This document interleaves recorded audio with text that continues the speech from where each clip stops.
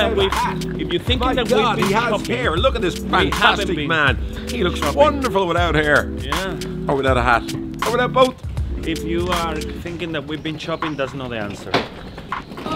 New shit. New. Joe. Throw two of them in the van.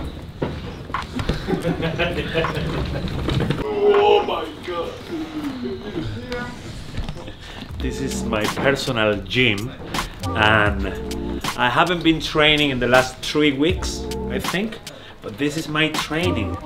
I'm working and training, working and training. you get in there This is how much I save with the gym, you know? I don't pay for that gym.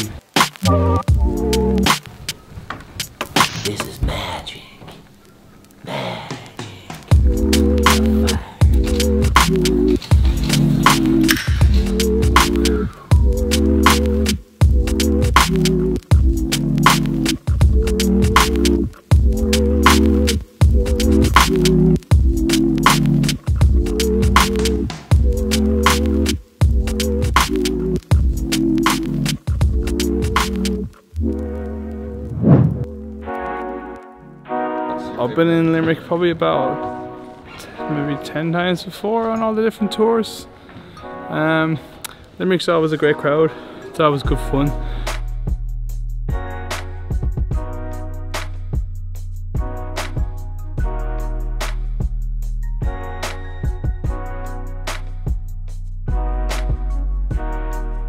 We're here in University Concert Hall. That's right. We're in an empty theatre, but it won't be empty for long. It's going to be packed house here tonight. Still a few tickets available. Tomorrow night sold out Galway. Next night sold out. See you at the Madhouse.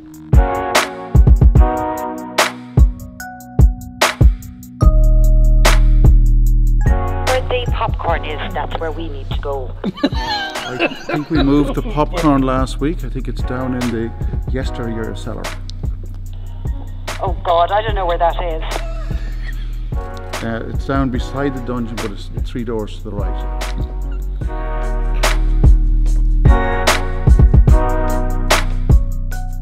Don't ever play with us. No, Telling I you Poker, now. poker. And if you're a politician behind that camera, I'm telling you now, it's don't. Poker.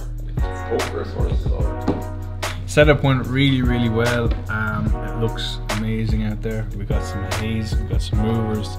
We don't always have movers in every venue, which are basically the moving lights that imagine my fingers are like beams that do all this kind of movement around. So.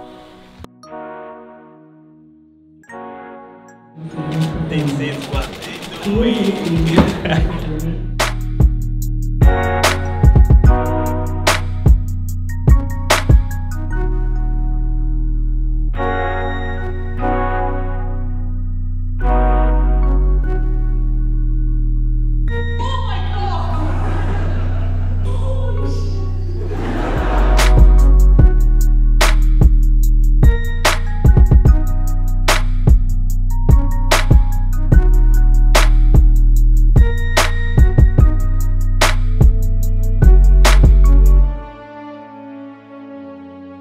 We've been coming to, uh, we're in UL at the moment, uh, Limerick University.